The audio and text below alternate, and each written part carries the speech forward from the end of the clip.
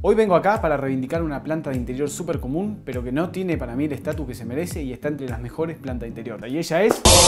Vamos todos a mover el poto, meneando la cinturita. Bueno, ¿por qué el potus digo que es tan bueno?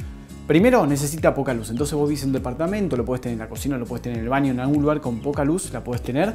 Es más, si la pones a sol directo, probablemente le quemes todas las hojas. Riego dos, tres veces por semana más o menos, vamos con tres. Acuérdense, la prueba del dedo, metés el dedo, si está embarrado, todavía no regás, si está muy seco, es que se te pasó.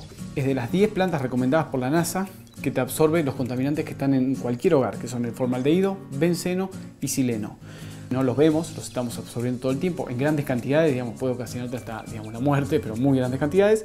Pero si no, te pueden dar dolor de cabeza, te puede dar náuseas, vómitos, fatiga, puedes estar más cansado. Entonces, esta planta te ayuda a purificar el aire. Lo ideal sería tener varios potus por toda la casa. Nos vemos la próxima. Chao.